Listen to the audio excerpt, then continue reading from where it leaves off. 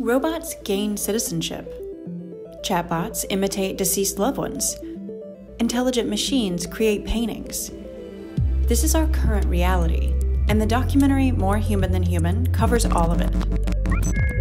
It's a documentary that looks at how intelligent machines are changing our lives on a, on a, in a daily way.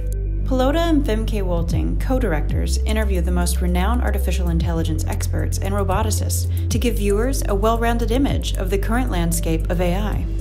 When we first started searching about how to tell this story, I quickly found that I wanted to really know what was happening right now and how it was affecting our lives already in, in ways that we can't really perceive. At the same time, they confront an anticipated AI advancement that most care not to think about the possibility of AI taking over their very own jobs.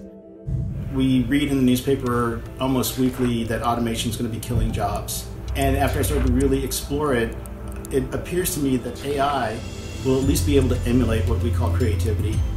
In the film, I challenged myself to, to make a robot to replace myself. So far, robots have proven extremely useful when it comes to performing repeated tasks and automation has greatly impacted assembly lines. But when it comes to jobs that rely on human interaction, they still struggle a bit. That being said, some companies have had success developing social robots.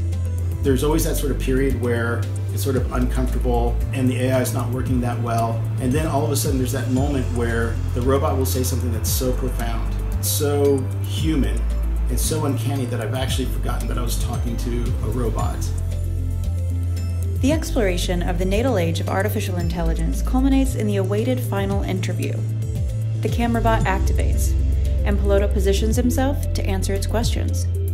The intent of creating this camera bot for me to, to be interviewed by was I am very shy, and I thought I wanted to get to the truth, and I wanted a very honest reaction. And I thought if I was doing that with the crew, that would never happen.